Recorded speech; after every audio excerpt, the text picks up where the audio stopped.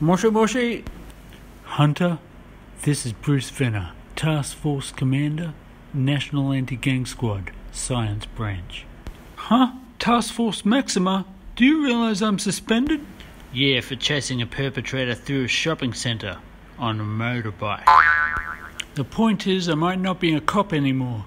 Did you just say Science Branch? That's right.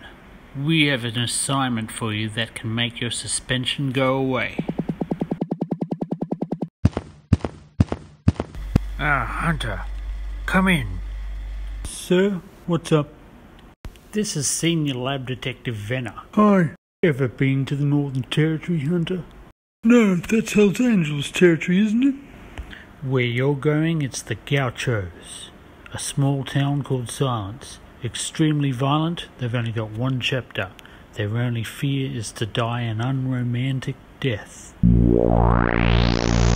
Good stretches of road that way, I guess.